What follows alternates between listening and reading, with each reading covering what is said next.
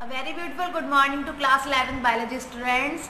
Now after the completion of some symbols like in calyx and corolla and some features of flower, now I am going to discuss with you the other uh, floral parts, what are their symbols, how they are drawn in the floral diagram. So today I am going to discuss with you after the completion of sepal and petal, gynoecium, androecium, different conditions of gynoecium and androecium, how they are represented as symbols and how we will represent them when we will draw the floral diagram. So come with me, we are going to start the next topic.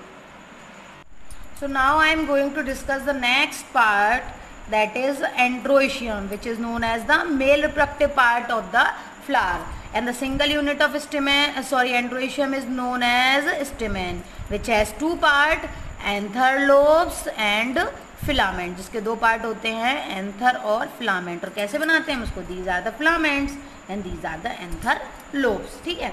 Now we will discuss the features and how they are represented so the androecium is represented as A androecium को कैसे represent करते हैं? ए से। And whatever be the number suppose four androecium are present then you will write like that नीचे आप उसका number लिख दो। अब आती है कंडीशंस यहाँ पर कि क्या क्या कंडीशंस हो सकती हैं।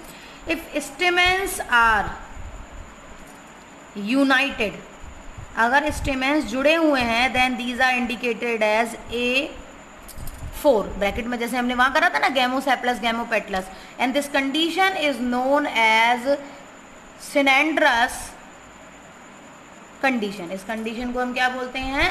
Synandrous condition when the stamens are united together जब स्टेमेंस क्या होते हैं? आपस में जुड़े हुए होते हैं, ठीक? इफ़ दे आर फ्री अगर ये फ्री हैं, जुड़े हुए नहीं हैं then you will write the number without bracket and आप क्या यूज़ करोगे word these are polyandrous these are separated together free हैं, आपस में जुड़े हुए नहीं हैं, ठीक? अब आती हैं कंडीशंस और ज़्यादा। नेक्स्ट कंडीशन आती है आपकी monadelphous condition suppose four stamens are there four stamens हैं, जैसे मान के चले one two three and four and all the stamen are jointed together by the filament to make one group सारे स्टेमेंस आपस में जुड़े होते हैं अपने फ्लामेंट के थ्रू और एक ही ग्रुप बनाते हैं. Only one group is prepared, then condition is known as mono one, mono adelphous condition. इसी तरह से अगर दो ग्रुप बनाते हैं it is known as diadelphous condition दो से ज़्यादा बनाते हैं तो पॉलीडेल्फस कंडीशन ठीक, अब बात करते हैं कुछ स्पेसिफिक फीचर पर। If the condition is epipetalous अगर कंडीशन आपकी एपीपैटलस है तो क्या होगा कि androecium are joined with androecium किससे जुड़े होते हैं? पेटल से जुड़े होते हैं। और कैसे इंडिकेट करोगे? पेटल को किससे इंडिकेट करते हैं? हम सी से इंडिकेट करते हैं। एंड्रोशियम को किससे इंडिकेट करते हैं? ए से। So you will draw a bridge between them आप इनके बीच में क्या बना दोगे? एक ब्रिज बना दोगे, जो इंडिकेट करेगा कि स्टेमेंस किससे जुड़े हुए हैं? पेटल से जुड़े हुए हैं। ठीक है? अब बात करते हैं हम अगली कंडीशन की। गाइनेंड्रस कंडीशन वर्ड से ही पता चल रहा होगा। गाइनोशियम एंड्रोशियम कौन जुड़ा हुआ है आपस में? गाइनोशियम से एंड्रोशियम जुड़ा हुआ है। आप कैसे एंड्रोशियम को ए से इंडिकेट करते हैं? गाइनोशियम मैं आगे बताने वाली हूँ। और गाइनोशियम को किस रिप्रेजेंट करते हैं? जी से।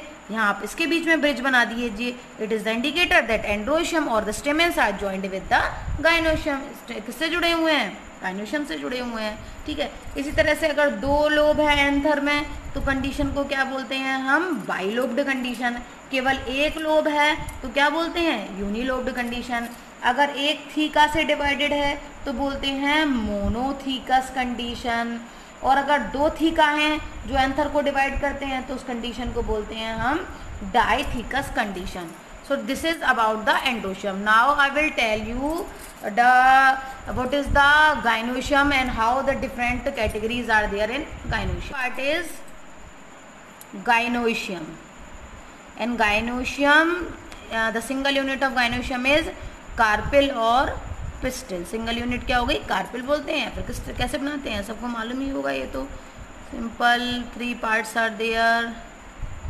stigma style ovary and ovule अंदर ओव्यूल प्रेजेंट होता है, ठीक है? तो अब बात करते हैं हम कंडीशंस की।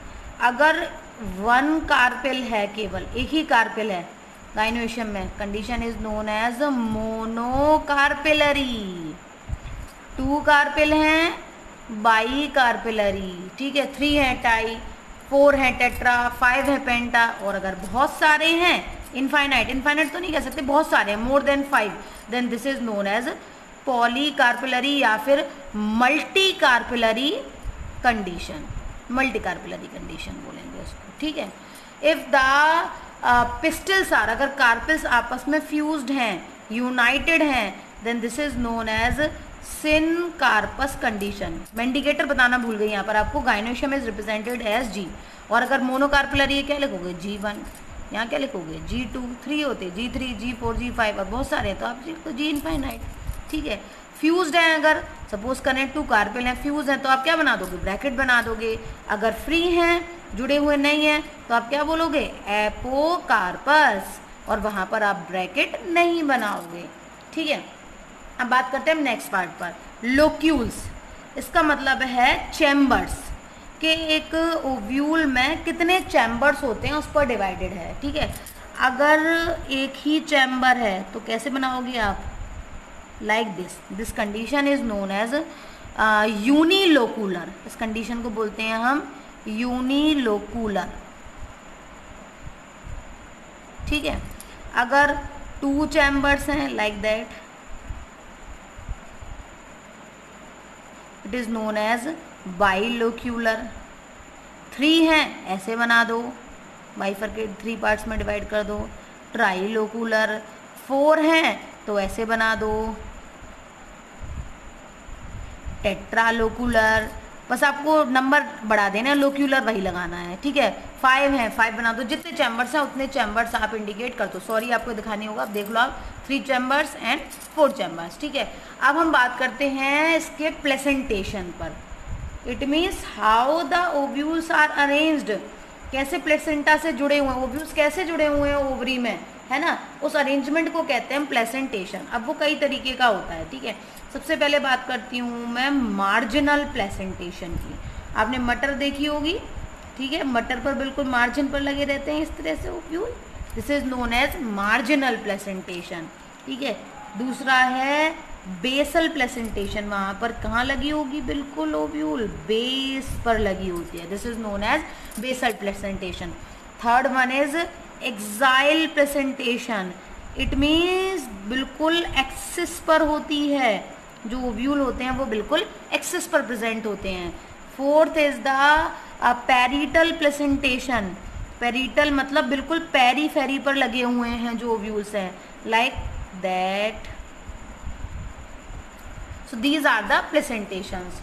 So these are the, these are the two things which are for today. Next time i will teach you how you can form floral formula and diagram as well as before starting the floral formula diagram i will tell you the uh, estivation that how the sepals and petals are arranged in a flower that is known as estivation we have four or five type of estivation i will tell you all types with diagram which can um, solve your problem how to make diagram or formula. Okay till then goodbye have a beautiful day